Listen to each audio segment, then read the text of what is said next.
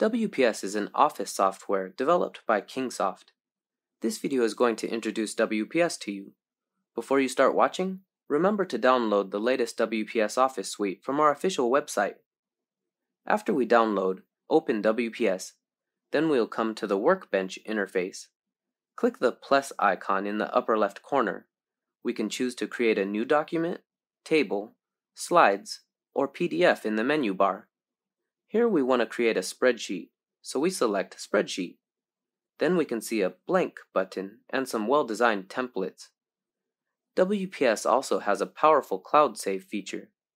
Click on the upper right corner to log in. Then our edited files can be saved in the cloud. This can make it easier for users to work in different places and edit files on different devices. Let's create a new spreadsheet we will introduce some basic features on the WPS spreadsheet interface from top to bottom. Above is the functional area.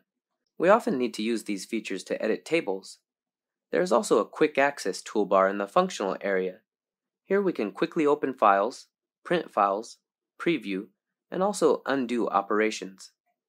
Below the functional area is the name box. Here we can quickly locate the cell. On the right is the insert function button and formula bar here we can edit the function. Below the edit bar are what we call cells.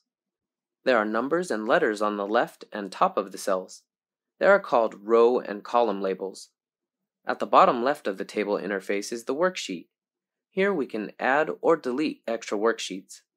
On the right are the view switching area and a ratio scroll bar. Above are some of the basic features we commonly use in the WPS spreadsheet. After watching this video, we can start to learn more about WPS Spreadsheet.